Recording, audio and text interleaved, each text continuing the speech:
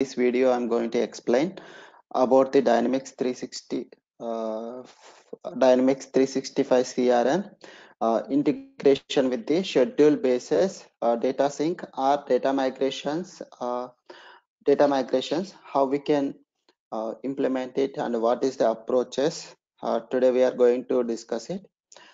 So the schedule if the requirement if the requirement comes under the schedule basis or data migration then we need to check the following points.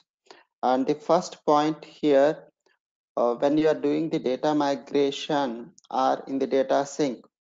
So first you need to check how many records you want to process in a daily or in a hourly or in a uh every uh, whatever the schedule is given. So based upon that we need to decide the which approach is going uh, is a best and it will fit for your requirement. And and also if you are doing the data migration in the data migration also we need to consider the how much volume of data we are going to migrate. So uh, based upon the my experiences and uh, in the crm in the migration or in the schedule of uh, migra uh, uh, migration approaches. So i am suggesting uh, it's my own opinion and it's my it's it's a recommendable.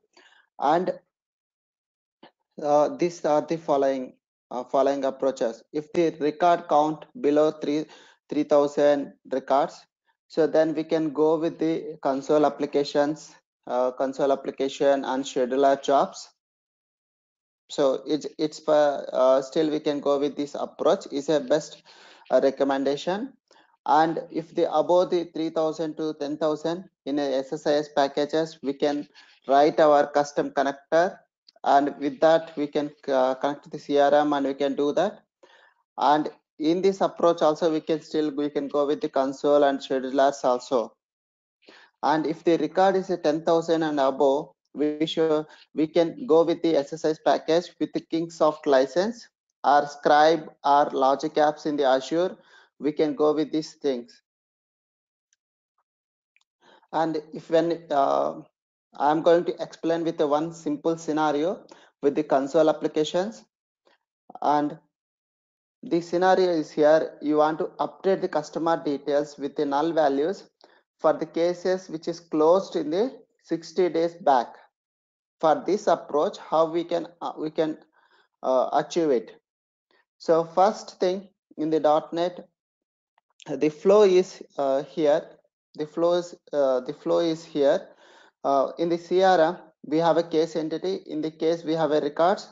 So this is a console application. In the console application you will write a uh, logic like a you need to create a crm my organization service and you need to retrieve the all the records by using a query expression or FetchXML you, you can have to retrieve.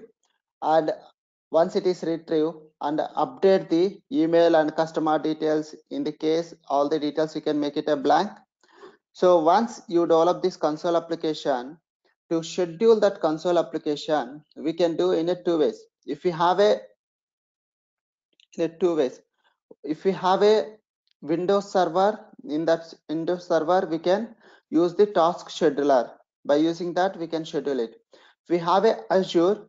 We can deploy our code to the azure as a web jobs or scheduler jobs. Then we can schedule it on a uh, required timings.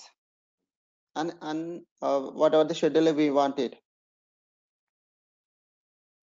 and next thing this scribe uh, ssis packages and scribe jobs uh, for this one if you want to sync the accounts and contacts data from sap or salesforce system to the crm on a schedule base or one time job as part of the data migration the approach is here. You want to uh, the accounts and contacts in the source system. So you need to implement the either SSIS package or scribe or any store procedure uh, to dump the data from source system to the our uh, SQL staging database.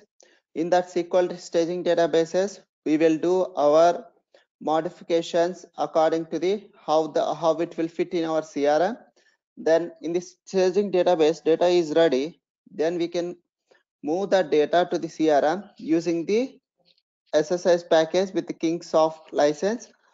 And or we can use this scribe tool then the data will come to the crm so similar way this is for pulling the data uh, to the other system to crm if you want to push the data from our crm to the other system we will be go with the in a reverse approach.